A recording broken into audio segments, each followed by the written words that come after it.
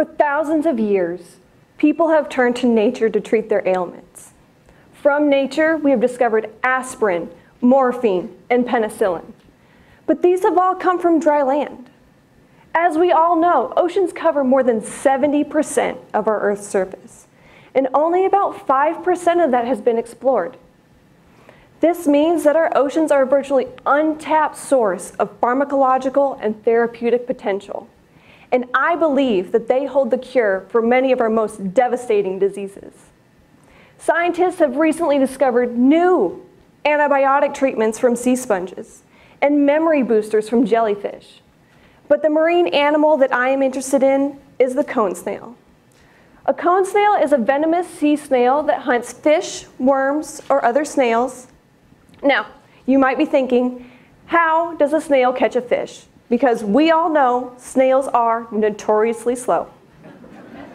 But the cone snail has evolved to produce a venom in order to stun and capture its faster prey. And a slow snail needs a venom that's going to act very quickly. It is that characteristic that makes the cone snail such an interesting species to study. Their venom consists of a complex cocktail of components that have very potent and specific effect on receptors in our nervous and immune systems.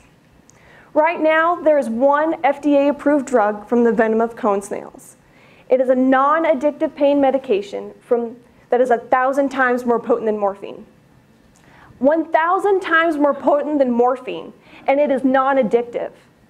My goal is to find the next therapeutic to come from cone snail venom.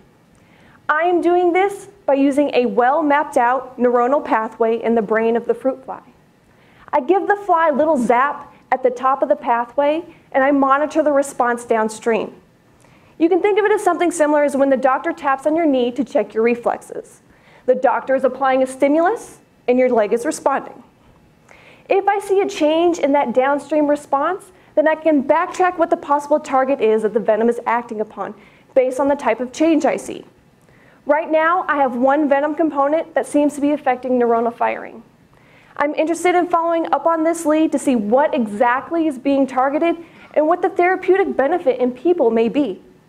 This research could lead to new treatments for diseases such as cancer, addiction, diabetes, or even another chronic pain medication. Thank you.